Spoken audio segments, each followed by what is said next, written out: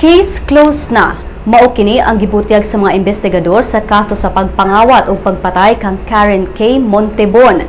Ang pagdeklara sa kalambuan sa kaso gibuhat o sa kaadlaw human ang suspetsado sa krimen nga si Ruben Geronco Fernandez na palgang patay didto sa Hetafe probinsya sa Bohol ni adtong Martes sa hapon. Mato ni Senior Superintendent Marlon Tayaba, Director sa Criminal Investigation and Detection Group Central Visayas, nga sigurado sila nga si Fernandez gyud ang nipatay kang Montebon.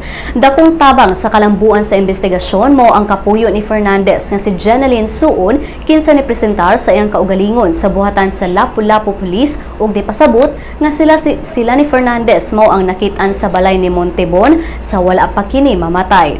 Si Suon gikuyugan ni Fernandez sa balay sa biktima aron mangutana kung nakapadala na ba og kwarta ang igsuon ni ini nga anaa sa Hawaii. Sa dihang ng lakaw na sila gipakanaog si Suon ni Fernandez sa barangay Bangkal kay daw nahutda na sila og gas ug mangita pa kini og kwarta pagpang pagpatubil. Apan matud sa investigasyon nga makita sa CCTV sa subdivision nga nibalik si Fernandez didto og anhi na gituohang nangawat si Fernandez ug gipatay si Montebon. Sa pagkakaroon ang kapulisan nag-imbestiga pa sa kung kinsay ni patay kang Fernandez. Mato ni Chief Superintendent Prudencio Tombanias, Director sa Police Regional Office Central Visayas, nga dakong kalapasan nga dili ang kapulisan ang nakauna pagkakita sa suspetsado.